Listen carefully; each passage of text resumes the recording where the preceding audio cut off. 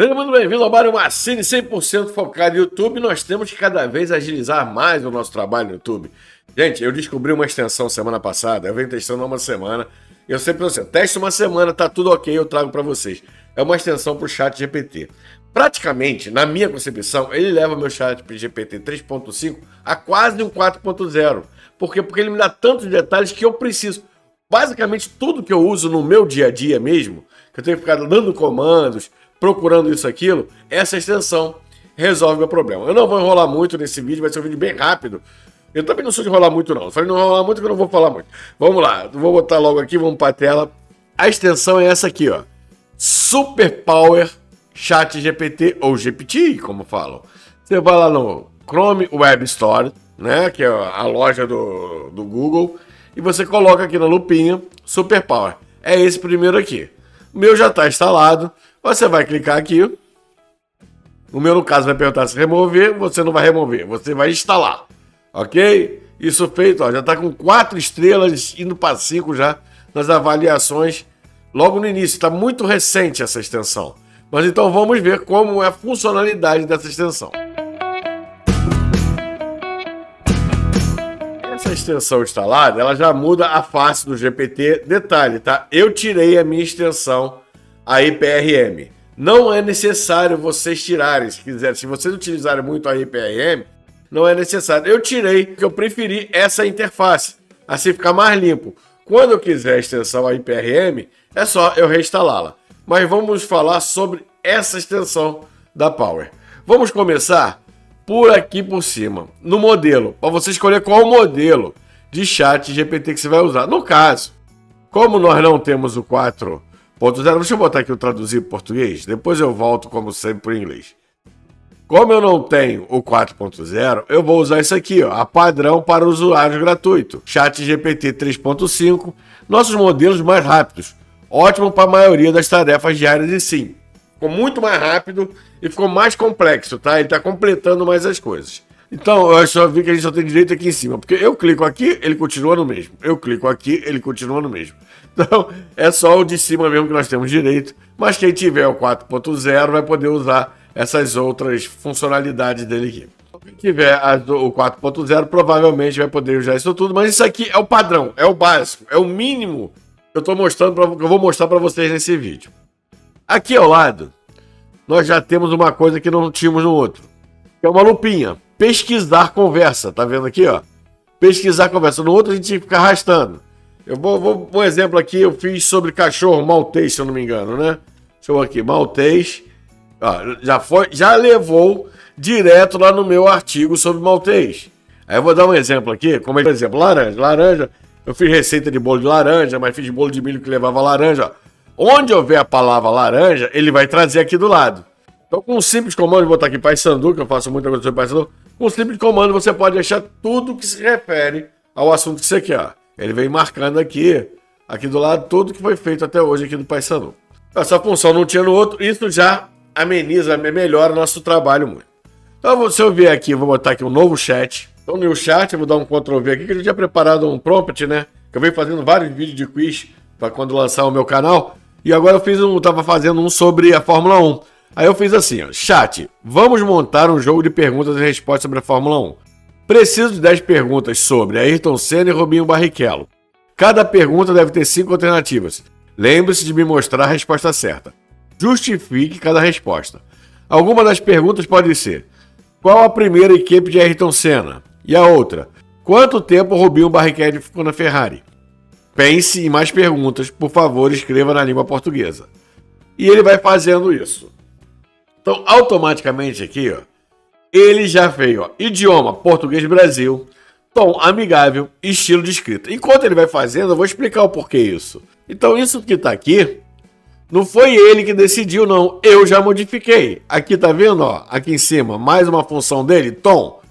Você vai ter o tom padrão, autoritário, clínico, conciso, frio, confiante, cínico, emocional, empático, formal, amigável e amorado. Eu optei pelo amigável para essa sessão, mas eu posso botar para bem-humorado, tanto faz. Posso botar para padrão. Estilo de escrita. Eu preferi a de conversa. Então você tem padrão, acadêmico, analítico, argumentativo, conversacional, que é o que eu preferi, criativo, crítico, descritivo, epigramática, epistolar, expositivo, informativo. E a língua, você tem todas essas línguas aqui. Então, ah, Mário, eu queria que você fazer um canal gringo. Tudo bem, você vem aqui, escolhe a língua que você quer, faz a sua pergunta. Eu já dou a dica de você, de repente, levar primeiro para o Google Chrome, colocar a pergunta já na língua que você quer. E aí você coloca a pergunta ali para ele fazer tudo, o textinho para ele fazer, e vem aqui e escolhe a língua.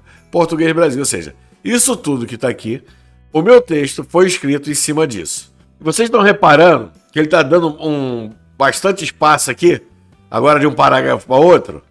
E olha, ele parou no 8, ótimo, também que já vai seguir o próximo exemplo.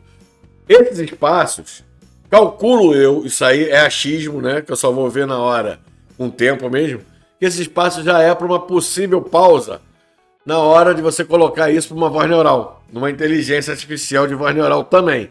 Tá dando uma distância, tá o número, você cortar o número dessa distância, você está muito bem organizado e eu estou trazendo tudo tintim por tintim para você. Para você que é meu inscrito e para você que não é meu inscrito que está vendo o vídeo. Então aproveita, se inscreva, ative o sininho e todos juntos iremos dar o like pro Máriozinho.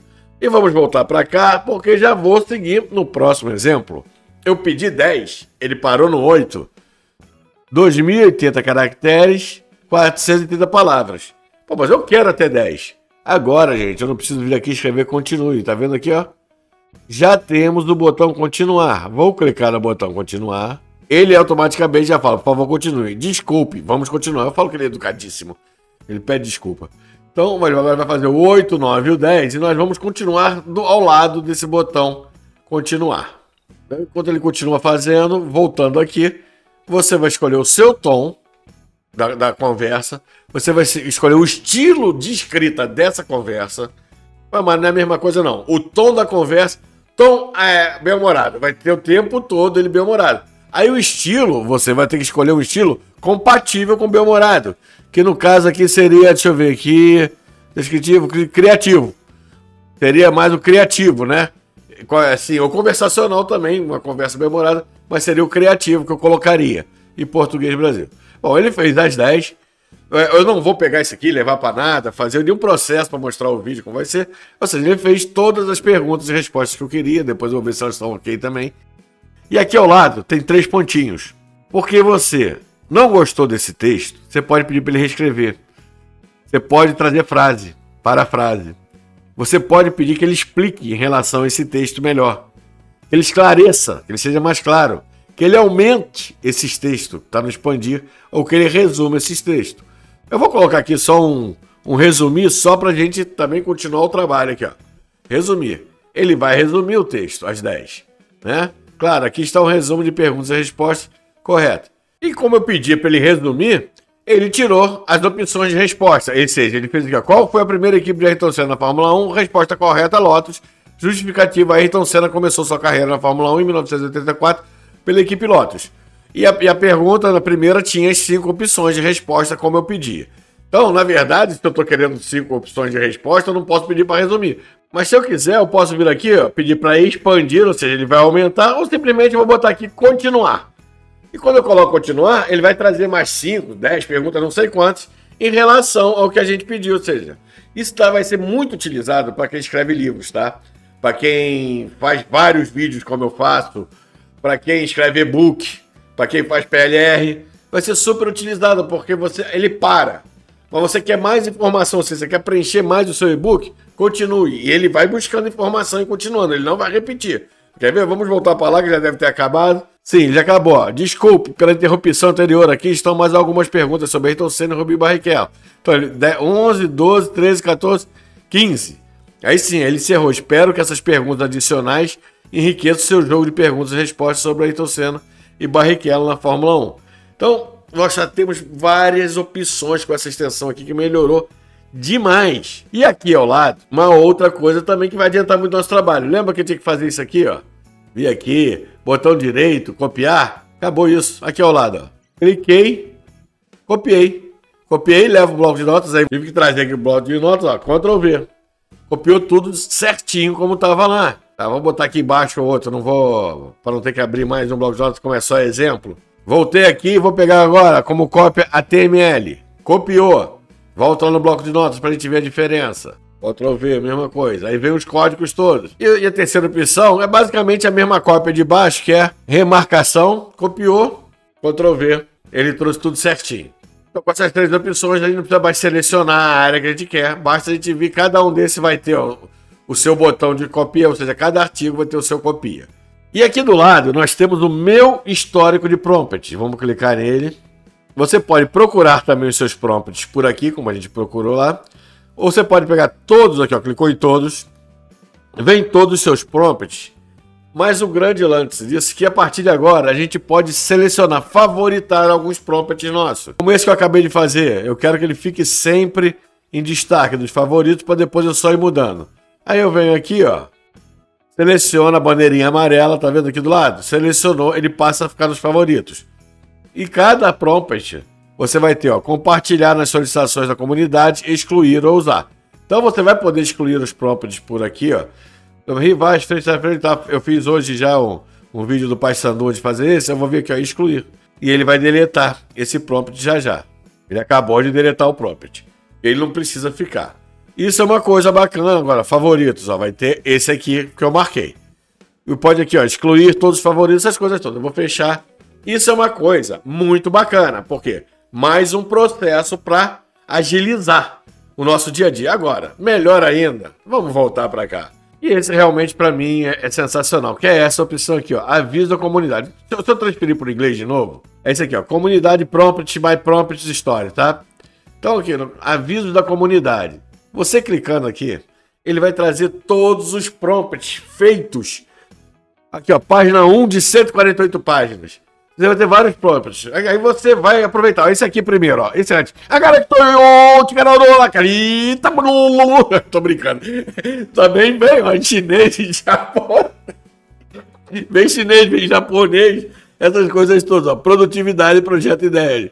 Ah, eu podia, produtividade, projeto de ideias. Eu puder, mas eu não vou usar. Aqui de baixo. Escreva cinco títulos com intenção de pesquisa transacional para o texto Web Design Service Embrage, não sei. Crie títulos que possam aumentar a taxa de conversão de leads no site. Crie títulos que possam lidar com as objeções dos clientes. Cuidado. Gente, isso aqui é, é, é fantástico. Ó. Instagram, vamos lá.